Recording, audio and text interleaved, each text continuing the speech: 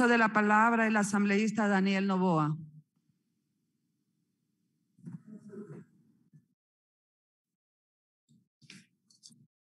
Saludo a la presidenta de la Asamblea, abogado Guadalupe Llori, quien preside esta sesión, mis compañeros asambleístas presentes el día de hoy y a todos los ecuatorianos que nos observan en este momento.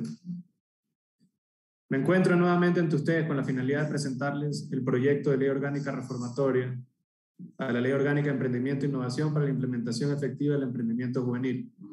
El martes de la semana pasada tuve el honor de actuar como ponente de esta importante iniciativa de ley, la cual fue ampliamente debatida por segunda ocasión ante el Pleno de la Asamblea. El objetivo de esta ley consiste en fortalecer el emprendimiento a través de la canalización de las ideas de los jóvenes recién graduados de los colegios y facultades de negocios para crear nuevos emprendimientos que, con el tiempo y un correcto acompañamiento, se convertirán en empresas e industrias que generan empleo, comercio y bienestar. En el transcurso del segundo debate, 15 miembros aportaron con sus insumos y observaciones para mejorar el texto de la ley, en un despliegue de la actividad democrática que caracteriza a este órgano legislativo, el cual merece mi reconocimiento y agradecimiento.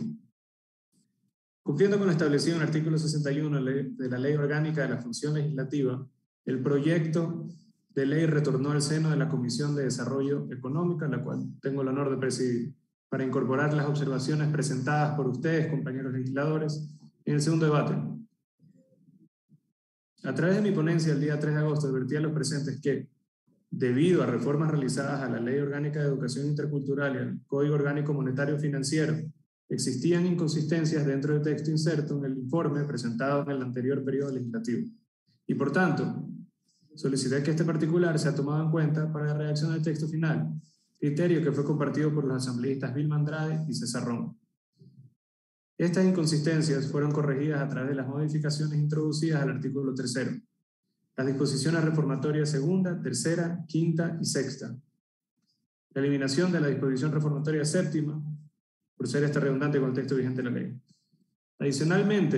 en función de la intervención del asambleísta Diego Ordóñez, quien aportó con mejoras a la redacción y el alcance de la disposición general tercera, estas fueron debatidas en el seno de la comisión e incorporadas en el texto final.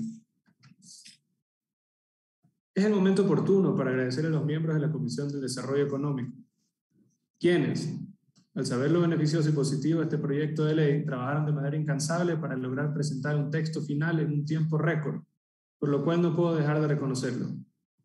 Finalmente, aprovecho la oportunidad para reafirmarme en mi postura expresada anteriormente al señalar que creo en el emprendimiento ecuatoriano, que creo en los jóvenes ecuatorianos que creo en las necesidades de crear oportunidades y por eso les pido que compartan esta votación conmigo y que juntos aprobemos esta ley que el Ecuador tanto necesita para que pronto se convierta en una realidad para beneficio de los emprendedores del país.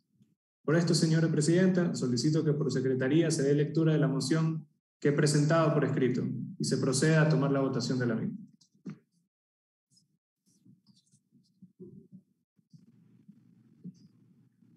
Señor secretario, certifique si la moción ha sido presentada.